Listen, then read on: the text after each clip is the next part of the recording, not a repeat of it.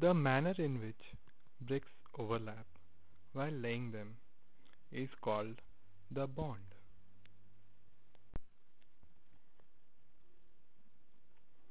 There are several types of bonds developed in different countries from time to time.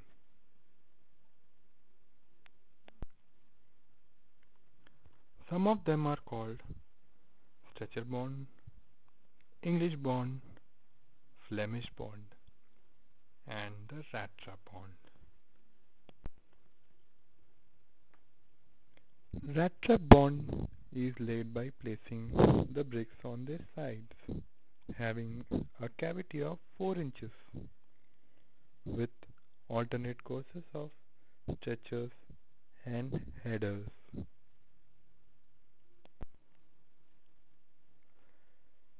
The headers and stretchers are staggered in subsequent layers to give more strength to the walls.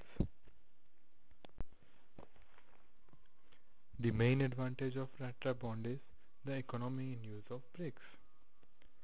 Giving a wall one big thickness with fewer than a solid brick.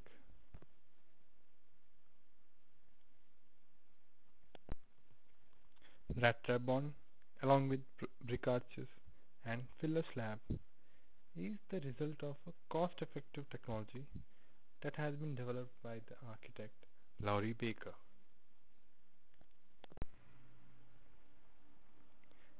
It has been tested and proven during the past 40 years in India.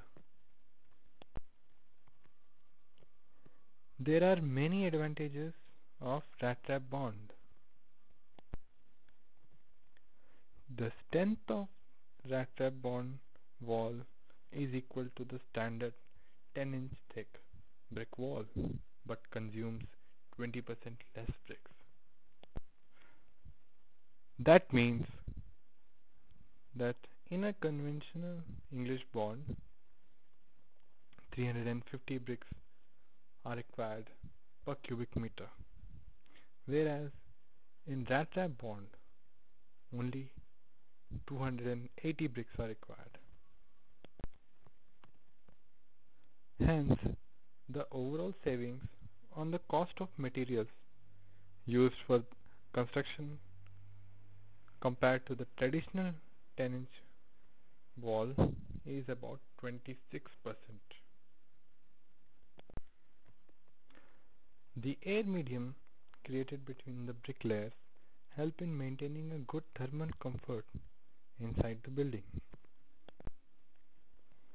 This phenomena is particularly helpful for the tropical conditions of South Asia and other countries. In summers, the temperature inside the house is usually 5 degree lower than the outside ambient temperature and the vice versa in winters. As the construction is done by aligning the brick from both sides with the plane surface facing the outwards. Plastering is not necessary except in a few places. The finished surface is appealing to the eye as it looks much like the Flemish bond. Buildings up to two stories can be easily constructed with this technology.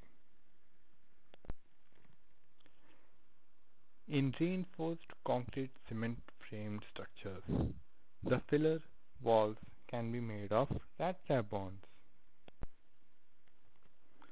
There are minor cautions to be taken with the rat trap bonds.